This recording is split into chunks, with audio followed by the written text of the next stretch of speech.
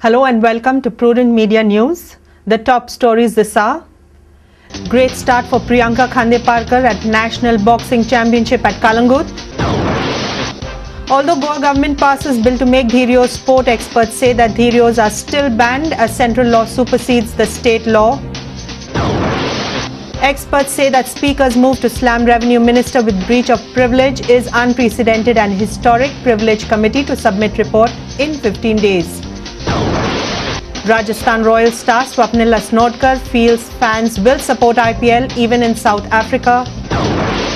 And Goa Assembly passes Land Acquisition Amendment Act by voice vote. Now the news in detail. Goa's Priyanka Khandeparkar made a winning start in the fourth Youth and Junior Women's National Boxing Championship at Kalangut on Wednesday. She defeated Roshni of Sikkim in the bantamweight category. The national championship was inaugurated in the presence of Santa Cruz MLA and Goa Amateur Boxing Association President Victoria Fernandes. The competition has received tremendous response from all over the country. The GABA technical advisor Lenny Digama urged more girls to take up boxing. We have taken women championship because we have seen that the, uh, how Referee Mr. R.K. Farmers. Goa have got a lot of potential. So we want more and more girls to come into boxing and we have got very good coaches. SAG is giving us full support with coaches, equipment, everything. We can train our boxers to even get into the Commonwealth Championship. It was only fitting that a local girl shone on the opening day. Priyanka displayed an attacking technique as she raced to a 9 0 triumph over a dazed Roshni.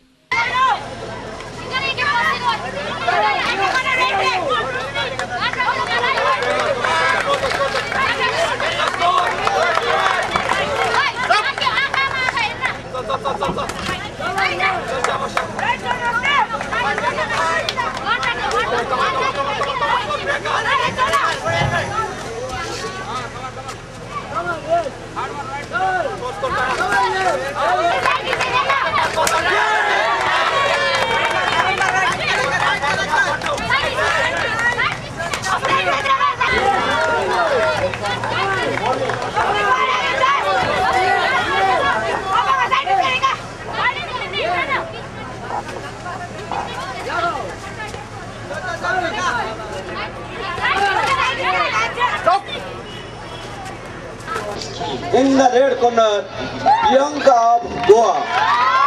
Priyanka is the winner. in Bout number 8. Our reporter at Kalangut, Shamsundar Fatte. Advocate C.A. Coutinho, constitutional expert, clarified that Dhirio cannot be considered as sport. Central law supersedes state law in this regard. He was speaking in context with a private member's bill passed in assembly legalizing Dhirio in the state. it is election time and the ruling party as well as the opposition members are playing a game of one upmanship. For the first time, a private member's bill has been allowed to be passed. If the governor, if the government was serious with such a law, they should have brought a official bill. If the opposition Coutinho further added that the private bill passed in the legislation is inconsistent with the Prevention of Cruelty Act of 1960. That means the central law will prevail over the private member bill, which means ban on Dhirio remains even after the bill is passed. on the lines of uh, bullfights uh, conducted in Spain or Portugal, where they say this is part of their cultural part, part of their cultural activity.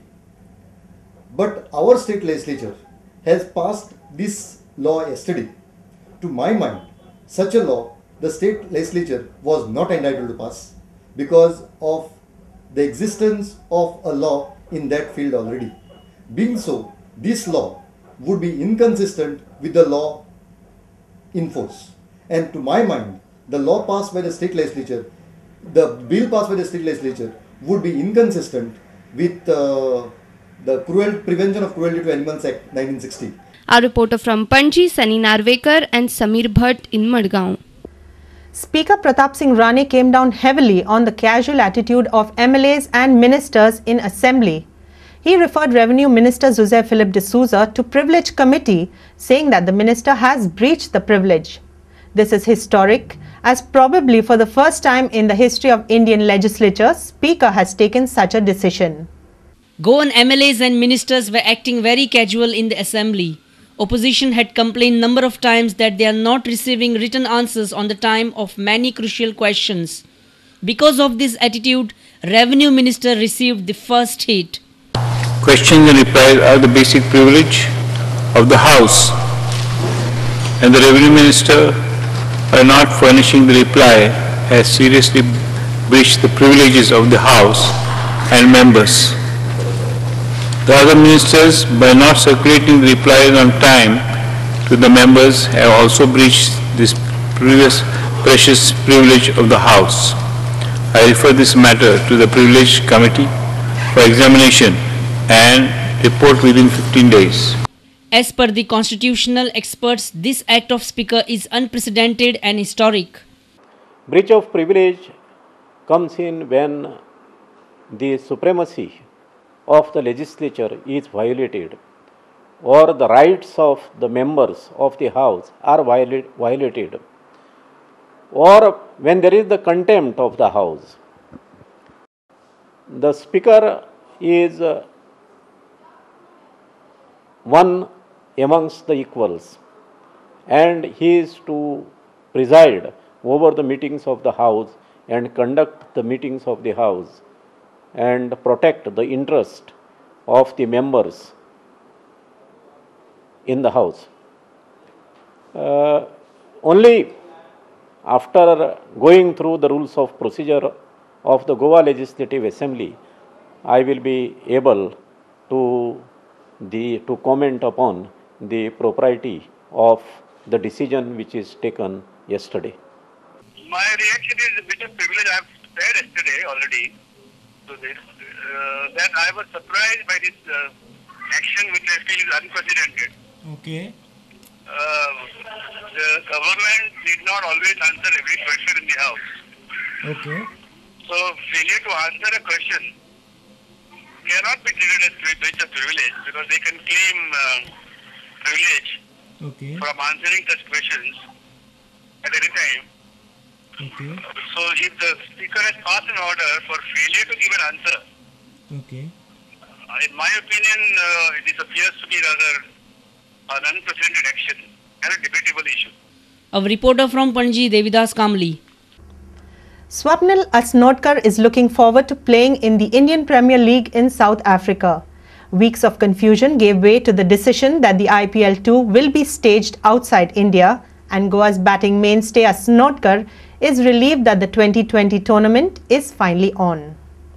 In an interview to Prudent Media sports editor Neeraj Prabhu and reporter Rakesh Kandorkar, the Rajasthan Royals opener spoke about the new season, Royals co-owner Shilpa Shetty and his best inning from the last season. Here are the excerpts of the interview. all set to play in South Africa in the IPL too. Yeah, obviously, it's a great thing. No, initially there was a lot of confusion saying like you know IPL might take place or no, but finally the nod has come from the BCCI saying that I, IPL is on. I as a player like you know I was uh, uh, always waiting for I, IPL to happen, but then there, there was a lot of chaos saying like because of election IPL might get postponed, it might not take place also. So it was a bit you know kind of thing for us as player like we wanted a I, I, IPL to happen, but when we came to know like you know the final decision was taken that it will be